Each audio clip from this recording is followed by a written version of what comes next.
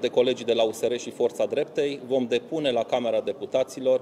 moțiune simplă împotriva ministrului corigent Ligia Deca,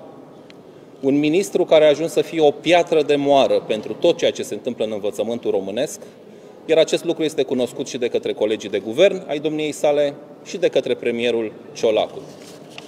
Un singur an calendaristic ar fi fost suficient pentru doamna ministru încât să-și dea cel puțin trei demisii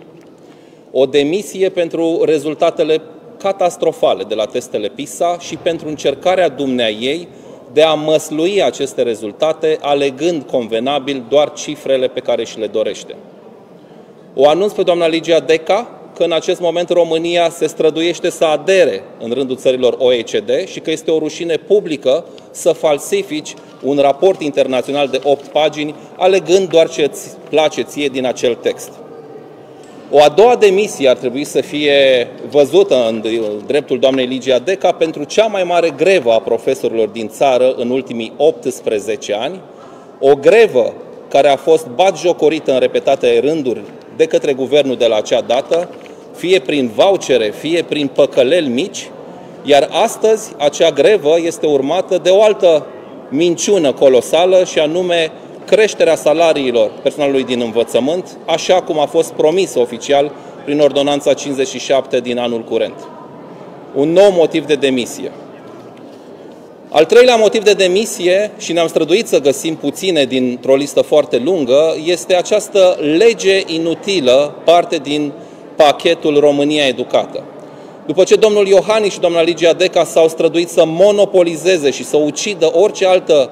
competiție în a reforma și a îmbunătăți condițiile de învățământ și poate în felul acesta am fi avut rezultate PISA mai bune,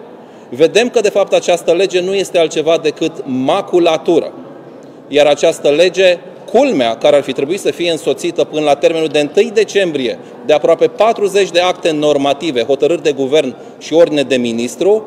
avem o întârziere, suntem aproape de jumătatea lunii decembrie, iar aceste documente juridice nu au ieșit de la Ministerul Educației. Măcar dacă pentru acest lucru doamna Ligia Deca a fost trimisă de către Cotroceni la Ministerul Educației, uitați-vă că nici măcar această misiune simplă nu este realizată. Doamna Ligia Deca, i-ați păcălit pe profesori cu salariile, i-ați păcălit pe părinți că o să fie o educație mai bună. Acum ați încercat să păcăliți și presa și pe reprezentanții experți internaționali de la OECD cu traducerea aceasta batjocoritoare a raportului făcut de ei.